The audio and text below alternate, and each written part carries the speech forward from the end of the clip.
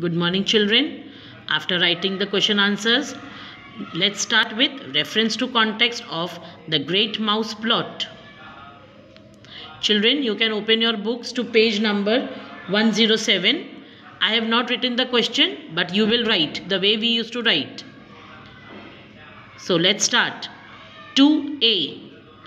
The boy who is narrating the story made the suggestion. Next, B. The dead mouse that they found was to be slipped into one of the jars of sweets. C. The boys were excited. Now next, come to question number 3a.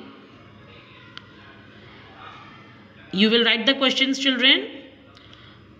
Answer for 3a. The boys who had played the prank pressed their faces against the window. B. They pressed their faces against the window of Mrs. Pratchett's shop. C. They saw that Mrs. Pratchett was missing and the dead mouse was found in the middle of the smashed pieces and sweets.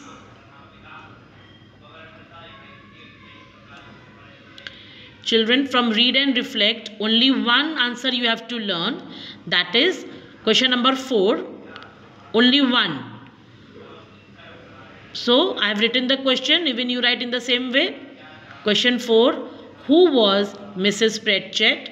What sort of person was she? Write the answer. Mrs. Pratchett owned the sweet shop in the town. She was not friendly with the children and never smiled at them.